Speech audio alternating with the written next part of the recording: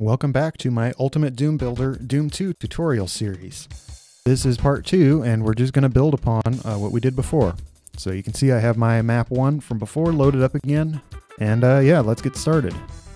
Now this is a very basic area. We just have a square, four player starts, and a sky, and some kind of grassy thing. So for this video, I want to flesh out the starting room a bit, make it look, you know, not like a little box, and show you how to just do some details and add new areas in. Okay, first thing I want to do is make this a little larger and a little less rectangular. So I'm going to hit V for vertex mode and just drag some stuff around, make this a little bigger, make it a little irregular looking. So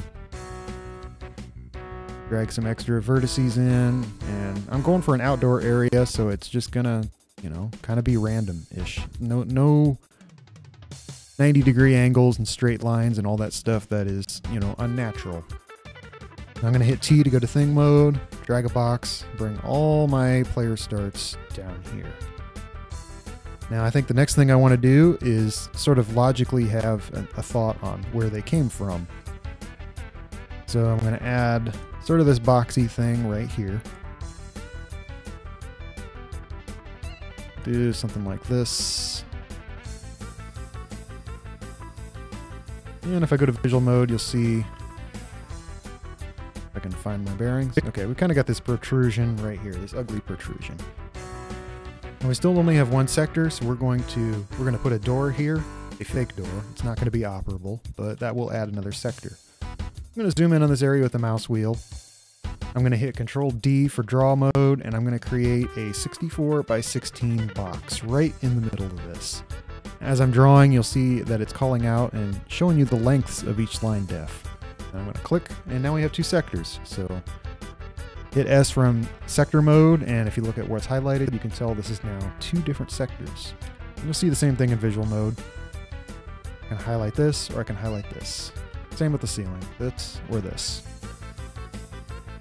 Okay, one of the tropes I really like about Doom 1, I tend to follow this a lot in my own maps, is that you have this silver starting door wherever your player start is. And that just gives you a, you know, like a sense of continuity or a sense of realness to it. I, am not a huge fan of abstract Doom. I really like your Doom 1, Episode 1, Episode 2 UAC bases.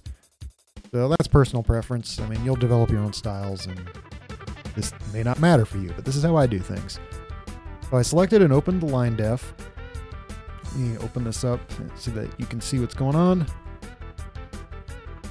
Um, I'll cover upper, middle, lower here in a minute, but for now, all the walls we have only have middle textures and they only have front sides. These are all one-sided line defs. There's nothing on the outside. You can't go through them, so they don't have a backside.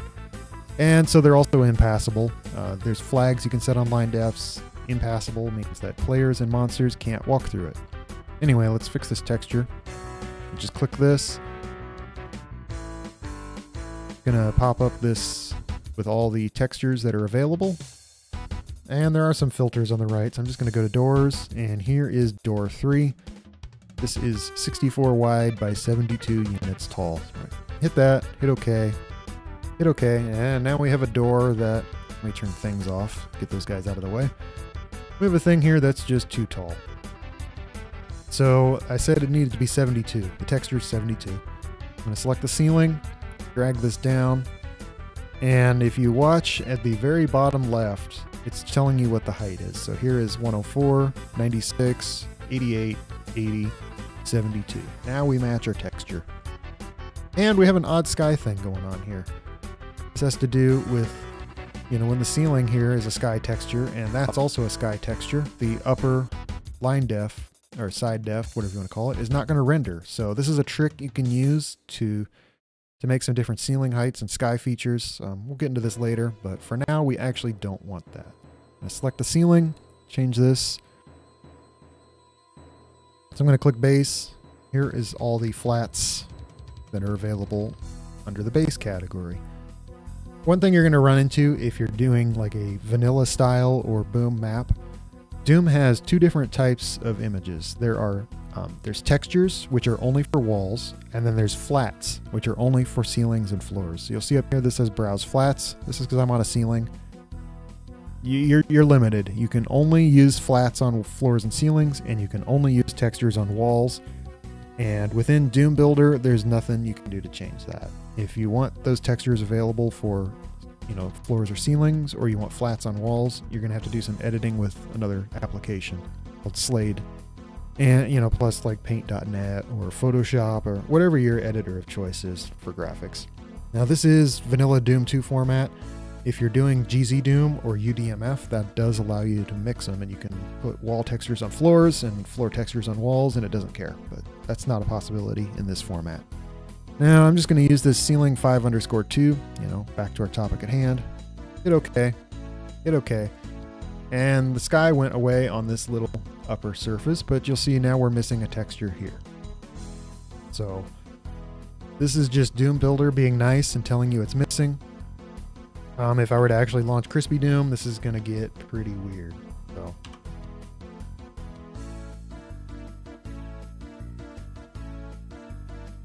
You'll see how the, the ceiling is kind of bleeding out. So this is a quirk of the Doom engine. Something to be aware of. Most of the time when you see this, this is considered a mistake, but you can do some pretty cool effects with it if you know what you're doing. Anyway, back to Doom Builder. So we want to fix this, this missing texture here. Now all these walls out here, these only have mid textures. There is no upper or lower section. Now that's different here because this is uh, this is between two sectors and they're different sector heights. So if I just right click this to pull the menu up, you'll see it's showing that I'm missing an upper texture. Uh, and the rest of these, they're, they're not visible. There's no way to see them, so it leaves them blank. So I'm going to select an upper texture and just pick something, anything, brown one. There, now we have an upper texture. You can also set mid textures. Um, I will do this just for example. I'm just going to copy this into the middle and show you what it does. And you'll see it created this thing here that is now hiding the door, but if I get really close, you know, the door is still on the other side. This is where like fences and gates and grates and that kind of stuff tends to come into play. Or if you want to create like a, a thing you can walk through, like a wall that's secret. So we're not going to do that for now. We're just going to blank this out. Hyphen key to blank it out. Next thing I'm going to do is put some detail here. I'm going to select these two side textures and I just happen to have this memorized because I do this a lot, but we're going to use light 5. Just like that. And this is a trope I like. Your silver start door, light 5 at full brightness. So we'll do 256 on the sector and you'll see how that kind of glows compared to the areas around it. Last thing I'm going to do is, uh, next thing, not last thing. This is totally unscripted, by the way, so I may say dumb things and I'm not really going to edit them out for the most part. So we got this little starting thingy here, and you'll see how this is misaligned. In Doom Builder, you can highlight a texture, hit Control A, and it's going to attempt to auto-align everything that it touches that is the same texture. So if I just intentionally misalign this a bunch, I'm just using the arrow keys while it's highlighted, that drags your texture around. Point here, hit Control A, and it fixed that. It did not fix the upper. And this is this has to do with your vanilla formats. UDMF won't do this. It'll work a little better. And I'm going to explain this terribly. Um, there's upper and lower unpegged flags on the line def. And if I upper unpeg, I, am not going to do a good job of explaining these. The, the terminology seems backwards to me. I'm not 100% sure what they actually do, and so I tend to click things until they look right. So bear with me on that. But now it lines up. If I misalign this, go over here, auto align, that actually works now. So that's because it's upper unpegged. If you ever have like a upper or lower texture that you're having trouble getting lined up, just play with the pegging settings and you can probably get it working. Anyway, next thing I want to do is I want, I think I'm going to make it look like there's a wall surrounding like the back side of this. And we're going to make this building look taller. So I'm going to go back to overhead uh, view. And I'm going to just go Control D for drawing mode.